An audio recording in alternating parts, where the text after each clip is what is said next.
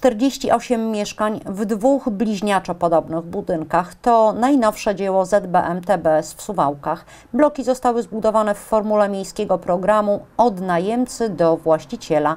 To już druga taka inwestycja w mieście. Łącznie tutaj mamy 48 mieszkań, dwu, trzypokojowych o różnym metrażu od 43 do 63 metrów kwadratowych.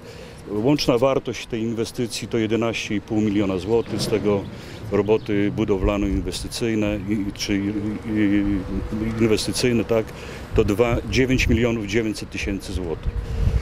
Koszt, wartość jednego metra kwadratowego to 4400 zł.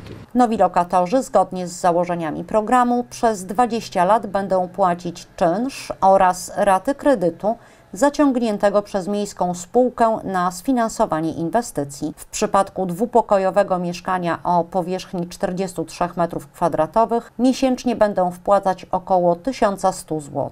Z chwilą zapłaty ostatniej raty, a ta rata może być zapłacona, proszę Państwa, aż 10 czerwca 2039 roku, yy, stają się właścicielami ostatecznie tych mieszkań, a do tego momentu są po prostu najemcami. Wokół bloków teren został już w zasadzie zagospodarowany. Trwa budowa ulicy dojazdowej do budynków. Inwestycja zakończona ma być 30 września bieżącego roku. Miasto i spółka ZBM TBS myślą już o kolejnej tego rodzaju inwestycji. Idziemy dalej. Y, Tak jak pan prezes y, powiedział, y, trwają y, prace nad rozwinięciem tego projektu. Y, Spółka dysponuje działką około dwóch hektarowo przy ulicy Franciszkańskiej. Tam może powstać y, ponad 300 y, mieszkań w sześciu blokach. Jest y, przygotowana koncepcja urbanistyczno-architektoniczna.